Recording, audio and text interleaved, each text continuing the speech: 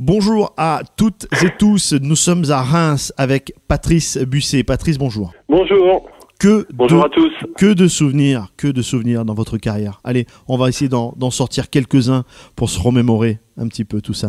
J'ai commencé ma carrière à Maubeuge, chez moi dans le Nord, là-bas, et je suis arrivé au Stade de Reims grâce à Jean-Marc Varnier, qui était un Rémois, qui était notre entraîneur là-bas. Je sortais d'un club de promotion d'honneur. Et six mois après, je prenais, je faisais mon premier match à, à Rennes contre Gérard Tonnel, l'attaquant, euh, Pocou. euh, et de la PH à la Ligue 1, euh, ça ça faisait drôle, mais aucun complexe. J'ai dit j'ai ma chance, je suis là pour ça. Je voulais pas. J'ai commencé euh, à 16 ans à travailler en usine, alors euh, j'avais pas trop et pas du tout envie d'y retourner.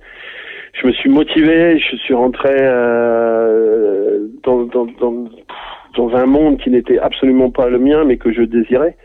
Et là, il y a, y a ce parcours en Ligue 1, et à la fin de la saison, ben déjà le numéro un, le top, c'est euh, la finale contre les Verts de la grande époque, avec Osvaldo, avec Christian Lopez, avec euh, Kurkovic. Tu te présentes sur le terrain euh, juste avec ces gens-là à côté de toi qui ont fait la Coupe d'Europe. C'était et je voyais à la télé chez moi Nord.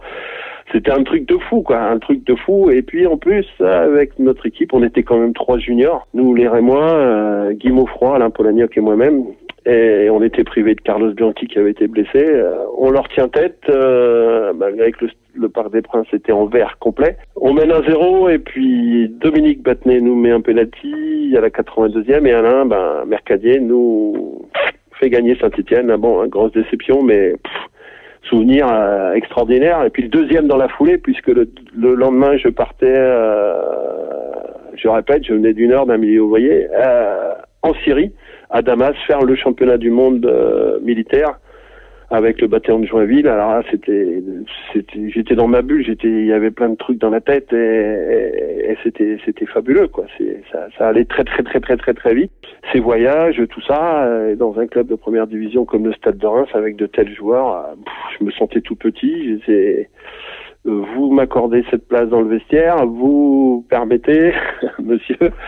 Euh, C'était une époque où il y avait énormément de respect euh, envers nos anciens, anciens joueurs. Et puis ce club mythique, hein, des fois on voyait arriver Copin, Fontaine, Monsieur Copin, Monsieur Fontaine. Euh, Après ça a continué, on a eu de grosses difficultés. Et puis la carrière s'est passée. Euh, je me suis un peu égaré, mais en, en étant toujours aussi passionné. Et le troisième souvenir, c'est que j'étais chez mon frère aîné, donc j'étais au chômage, et puis d'un seul coup, à Paris, le téléphone sonne, Jean-Séraphin appelle, tu as 48 heures pour prendre une décision pour partir avec moi en Chine. Ah, je dis coach, il n'y a pas 48 heures, il y a 48 secondes, euh, je peux même pas rester au chômage, euh, c'est, très très difficile quand on, reste à la maison et, enfin soit, et puis en plus la Chine, 13 heures d'avion pour arriver à Pékin, on comprenait pas un mot de ce qu'il disait.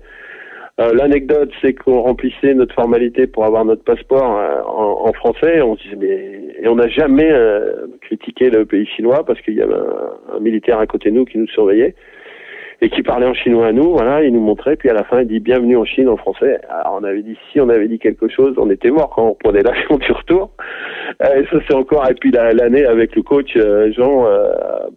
Là-bas, on a voyagé partout. On a été du nord au sud, à la frontière du Tibet, à Kunming pendant un mois. Et la dernière, la dernière qui était la première, puisqu'on était en demi-finale à Nice, c'est de cette fameuse finale de Coupe de France, où je marque le deuxième but en quart de finale à Monaco. Patrice Buisset, promotion d'honneur, il marque à Monaco, il marque à Nice en demi.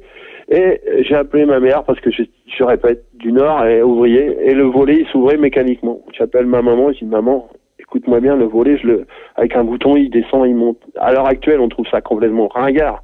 Mais quand on a 18 ans, 19 ans, on découvre un hôtel euh, extraordinaire à Nice, j'ai dit, écoute, je, je racontais tout à mes parents, à, mes frères, mes petits frères et tout ça, ils étaient au courant de tout, ils écoutaient à la radio. Et quand je leur ai écouté ça, ils dit l'hôtel avec piscine et tout, mais frangin, c'est fabuleux, quoi.